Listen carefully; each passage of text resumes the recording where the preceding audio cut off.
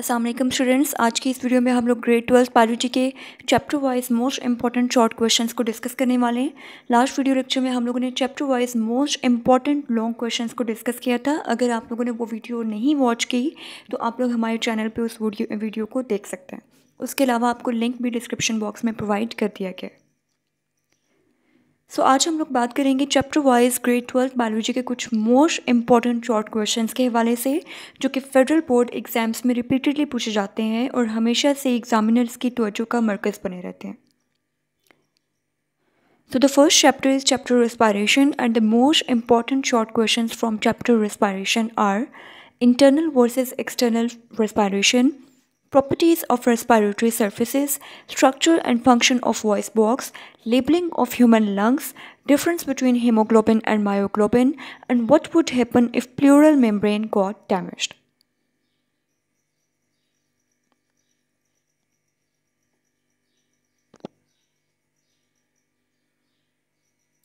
Second chapter is chapter homeostasis and the most important short questions are osmoregulators versus osmoconformers, osmoregulation in marine and freshwater animals, advantage of uric acid as a nitrogenous waste in arid environment, label diagram of human kidney, mechanism of urine concentration, ectotherms versus endotherms, vasodilation versus vasoconstriction.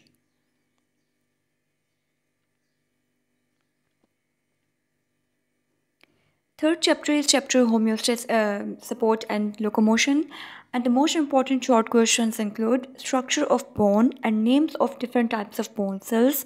true ribs versus floating ribs, how does extensor and flexor muscles work in pairs and comparison between the three types of muscles. So so, ये कुछ most important short question हैं जो कि third chapter में से repeatedly federal board exams में पूछे जाते हैं उसके अलावा इस चैप्टर के लॉन्ग क्वेश्चंस भी बहुत इंपॉर्टेंट हैं Fourth chapter is chapter novels coordination and the most important short questions are feature of neuron which increase velocity of nerve impulse, Alzheimer disease, effect of drug addiction and drug tolerance on central nervous system, neurons, difference between excitatory and inhibitory neurotransmitters, fundamentals of a typical reflex arc, divisions of autonomic nervous system, and the basic pathway of information flow. Fifth chapter is chapter chemical coordination and the most important short questions are what are hormones classification based upon chemical nature names of hormones released by anterior pituitary and the role of labor hormone corpus luteum and its function and the hormones produced by adrenal cortex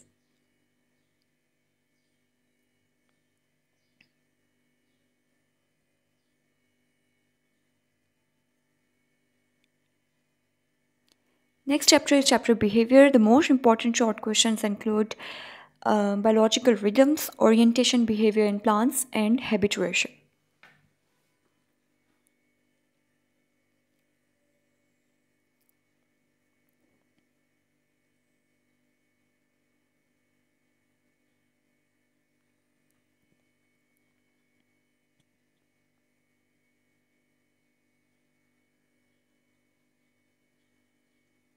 Next chapter is chapter reproduction. The most important short questions are functions of three uterine walls, three causes of male infertility, three causes of female infertility, miscarriage and causes of miscarriage. इसके अलावा भी बहुत सारे students question important हैं लेकिन जो federal board exams में repeatedly पूछे जा रहे हैं हम इस स्लाइड में उनको डिस्कस कर रहे हैं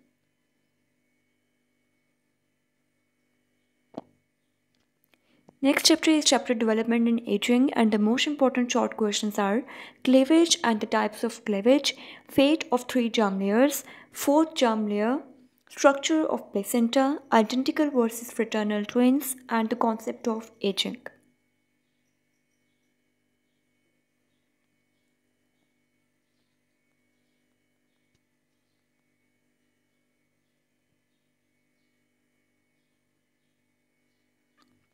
Next chapter is chapter inheritance and the most important short questions are incomplete dominance versus codominance, how excess secretion of bilirubin is harmful to fetus, test cross and significance of test cross, patterns of sex determination, Hollandric traits, pattern of inheritance in hemophilia, color blindness, and muscular dystrophy, sex related traits, and why human male is called as heterogametic. Next chapter is chapter chromosomes and DNA, and the most important short questions are Griffith experiment, characteristics of genetic code, introns versus exons, heterochromatin versus euchromatin, nucleosome versus primosome, regulation of gene expression, mongolism, causes and symptoms of phenylketonuria so ये वो कुछ most important short question हैं जो कि federal board exams में repeatedly पिछले दस सालों में पूछे गए हैं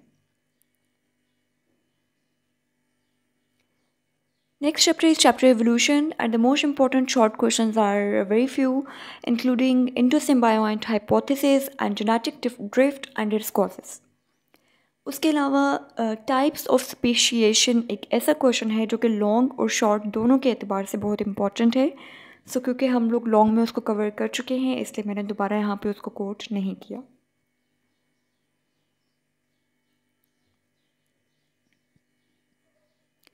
Next chapter is chapter Man and his environment and the most important short questions are ecological pyramids, water cycle, characteristics of a population, effects of global warming, acid rain and ozone depletion, difference between conventional and non-conventional energy sources, biotic components of an ecosystem and the sources of chlorofluorocarbons.